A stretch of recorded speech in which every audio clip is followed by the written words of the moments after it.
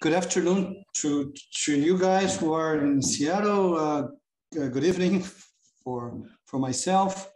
Uh, my name is Nelson Dias. I'm going to give a, a, a, talk that is certainly very different from the ones I've seen uh, this afternoon. It's more like a, uh, an overview of what, I've, of what I've been doing with programming languages and how Chapel uh, fit into it. Uh, okay, I'm a civil engineer.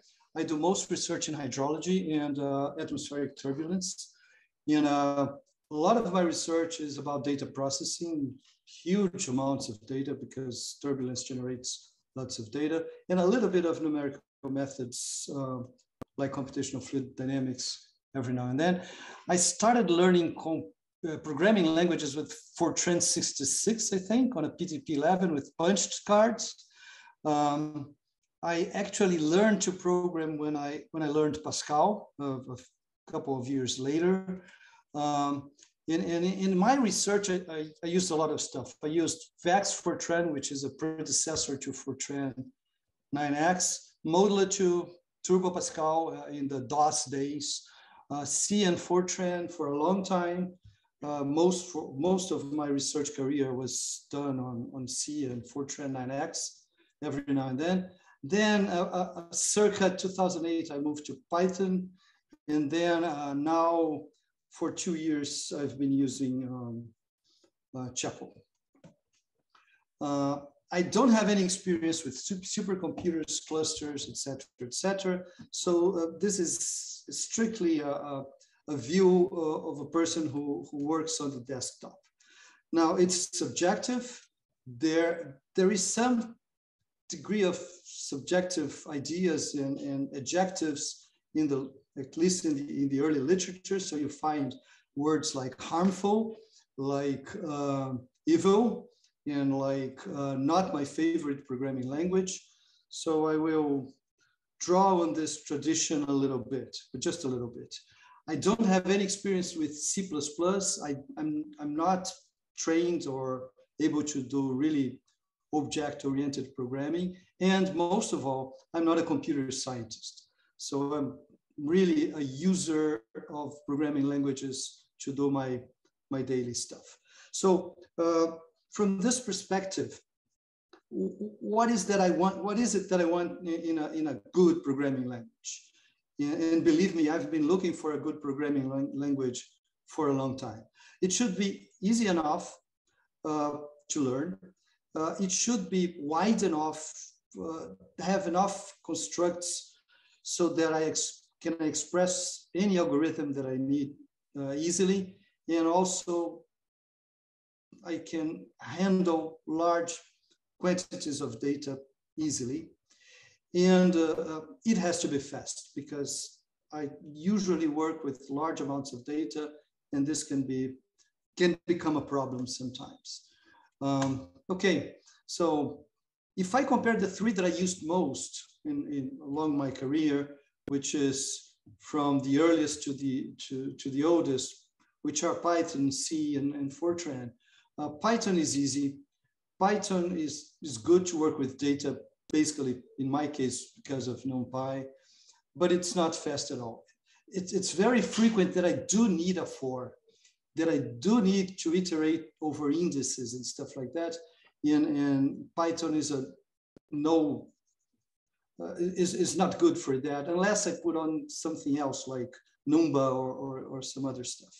C is easy to learn, more or less, because it's low level. It doesn't have a lot of uh, facilities to work with data because it's low level, but it is fast. And Fortran is large because it's old, basically. So it, it has a lot of stuff in there. Uh, modern Fortran is, is good to work with data and it is fast. Uh, so most of my colleagues usually lean on Fortran, prefer Fortran. And Chapel is a yes for, for all three uh, criteria here, but it is large. Um, so my whole point here, or my main point here is that there is an opportunity for Chapel to be a kind of universal language, uh, not only a language for clusters and supercomputers and HPC, but a language for everybody, like me, the, the, the common person that only has a desktop, etc., etc. And I, I, believe so. After working with it for two years, uh, it can replace all of the others with a lot of advantages, in my opinion. Again, it's subjective, uh, but it needs to be advertised. It, it, be, it needs to be made easier to install, I think, uh, for, for common people.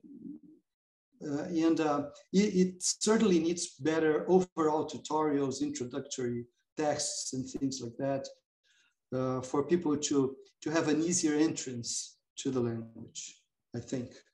Uh, okay, um, it has my my view of Chapel's strengths are like that. It's fast. Parallelization is really easy. Um, I didn't know I could get so much from my desktop until I used it. Um, you can start an array with any value, which is really good. And why? Because sometimes the algorithm is natural, is a natural zero-based algorithm. Sometimes it's a natural one-based algorithm. Sometimes it's something else. So uh, it's good to have this uh, ability. It's something that always bothered me in C and in Python. Uh, and it's modular. Uh, as modular as Python is, you all know this, I don't have to, to preach to the choir. Uh, so uh, I found it very easy to do the same stuff that I was doing in, in Python. Just write the modules, put some environment variable pointing to where my, my libraries are and, and use them easily. Now, um, it has generic uh, arguments uh, for the procedures. This is not something that I use so much, but it, every now and then it's useful. And uh, the, the, the, distinctive feature to me of Chapel is domains. Domains are something were something very new to me. They make it easier to declare many, many arrays with, this, with a common domain, which is very common in, in, in my programming uh, experience. Sparse domains are a must. They're really good when you have sparse matrices and stuff like that. And associative domains are essentially dictionaries or awk arrays and they are also very useful in, in, in many cases, interestingly. So domains uh, uh, are, are, something that Chapel added to my view of programming. And, and my experience is that they have been really helpful. Uh, by now, I have essentially translated all my little libraries to, to Chapel. I have a dozen of them. Um, all of them existed in some sort before Chapel, so I translated them. And whenever I could improve on them, putting in some parallel processing or something like that, I did it. Um, I'll give you two examples of what I've done. One is a, a simple solution of Laplace's equation with uh, successive over-relaxation. I did it in my desktop. It has two, 12 logical cores. And uh, I ran a serial version and a parallel version, both written in Chapel, and I got approximately a, a speed up of approximately six, six, times. So the number of approximate number of physical, not logical cores. In some other cases, I, I got better. I got up to 11, 11.5, 10 uh, times speed ups and things like that. The other thing that, that um, was one of my, my new uh, experiences in in Chapel is that I wanted something like a list in Python, but I didn't want to grow a domain for every new index. So I wrote this, this little thing here that deals with the domain. And whenever the index that I want is the next uh, to last in, in the existing range, I grow the domain, say, by 50%. And so I have enough space in the array for, for the new elements. And, and this was um, an interesting experience. I, I didn't know I could do stuff like that. And, and it's pretty easy to do actually in, in, in Chapel. Uh, I'm getting to the end of my talk. I think I sped up a little bit. Um, I have a wish list. Uh, one of my, my, my wishes is that Chapel had something like Fortran that I could re-index uh, an array in the argument, just like you see here. I wish I could say A is an array from here inside this procedure, it's going to be an array from one to N, and automatically I know what the size of the array is because it's N. Um, I also wish I had the possibility to declare a procedure as an argument to another procedure, as I have to do, for instance, if I do the trapezoid rule in, uh, in numerical integration. And it's not so important, but a little faster compilation would be nice. I know people are working on it. So my last words for Chapel are words of praise. Um, it's very elegant. Uh, it's the closest to the best programming language that I ever got to. Uh, it's easy actually to, to, catch errors and debug, uh, surprisingly easy. And uh, it's fast enough uh, for my needs. So I'm pretty happy with it uh, now.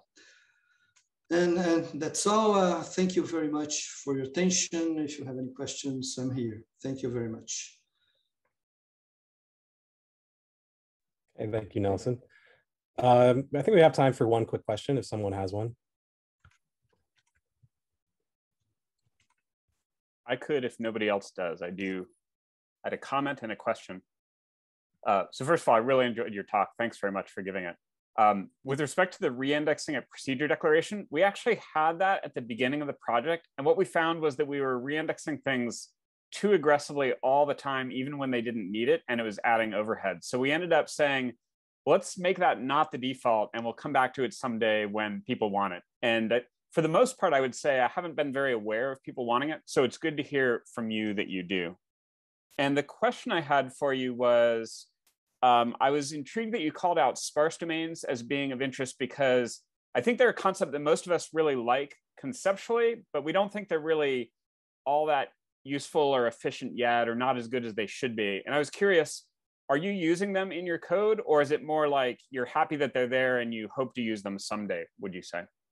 Um, yeah, thank you, Brad. Yeah, actually, I am. Uh, uh I don't know if it's more efficient than the, the usual stuff. Uh, but I'm using it to, to solve tri-diagonal systems. Okay. And Fortran people will use three arrays, one for each diagonal.